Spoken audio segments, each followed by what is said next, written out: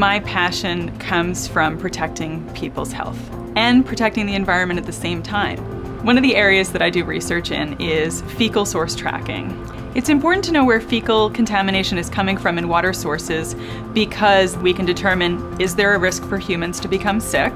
The other reason why it's important to know the sources is so that we can stop that source from getting into the watershed.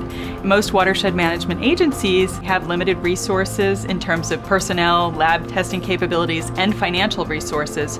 They need to be able to target their resources appropriately so that they can be managing and remediating the areas that are really problematic in terms of human health risk.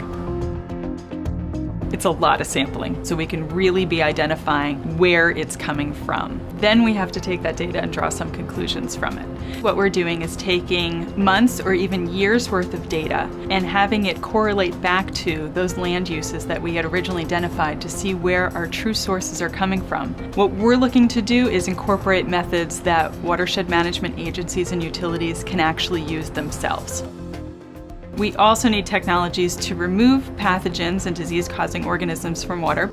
So some of my research looks at either removing or inactivating pathogens and doing so in a way that doesn't produce harmful byproducts. We've also looked at solar radiation as a low-cost alternative for developing countries or rural areas that don't have as many resources.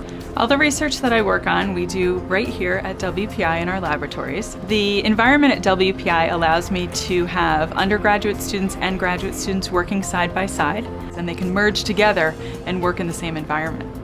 All the research that I do that's looking to prevent disease transmission in humans at the same time is looking to preserve our ecosystems so that we can use them not just for drinking water sources, but for recreational sources, use them for their aesthetic value and also have them for future generations.